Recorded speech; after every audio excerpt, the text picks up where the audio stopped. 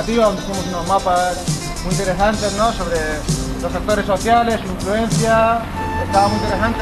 Intentaremos otro día hacer una segunda parte de este taller y luego estuvimos hablando por la tarde de, tecnología y conceptos políticos, para un poquito qué es izquierda, qué es derecha, qué, qué significa eh, neoliberalismo, estuvimos hablando un poquito sobre los términos políticos.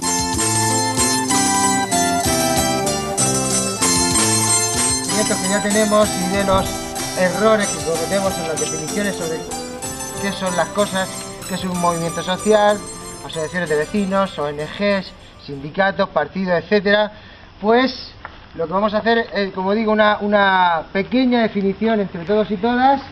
Pasamos a caracterizar un poco qué son los movimientos sociales actuales, cuáles son las características principales, sobre todo de estos nuevos movimientos sociales y eh, pues uno que acordemos entre todos y todas, lo ponemos de ejemplo y, como digo, entre todas y todas generamos conocimiento a partir de lo que estamos viendo que hacen, cuál es el repertorio de acción, etcétera, de los movimientos sociales más conocidos actuales.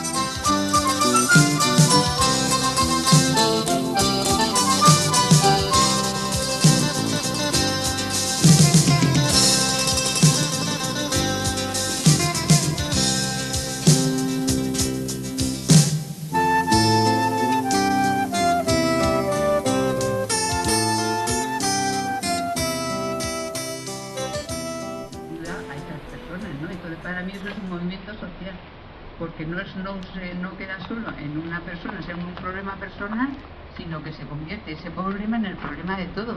Y se ha visto que a través del tiempo lo que ha sido lo que empezó con un, con un, con un desahucio, pues se ha ido multiplicando, multiplicando y cada vez más son las personas las que han, las que han apoyado y han dado y han, hecho denuncias y han dado lugar a un movimiento ¿no? de denuncia.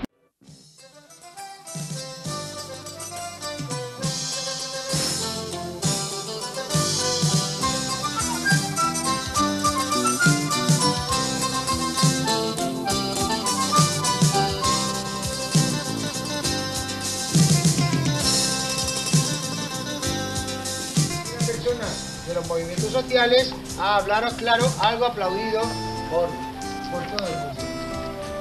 Bueno, más cosas. Pasamos de la IDP, hemos visto que hay efectos que quizá no se han conseguido las transformaciones que queremos, pero que sí tienen efectos sociales, políticos, ¿no? ¿Dónde está el total de la transformación? No lo llamo ocupación, recupera vivienda ocupa vivienda, lo llama ocupar, recupera vivienda y negocia con el banco, son viviendas de banco, a esa familia que la han desahuciado, eh, en esa vivienda se le ponga un alquiler social. Se consiguen, ¿eh? En la, paz ya hay dos. Obra social. Más cosas.